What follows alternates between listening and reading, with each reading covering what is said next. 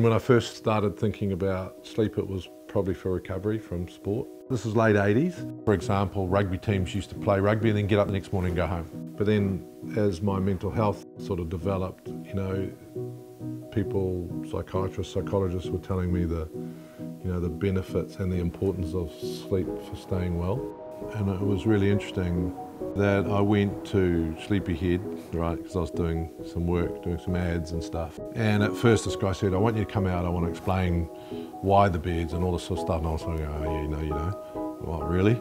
But it was intriguing for me, just the difference around quality of sleep, what a, what a good bed means. So for me, even now, sleep is fundamental. Um, and something I work really hard on because if I don't have sleep, um, then I'm, I start to get affected. So it is the most important thing for me about mental and physical recovery.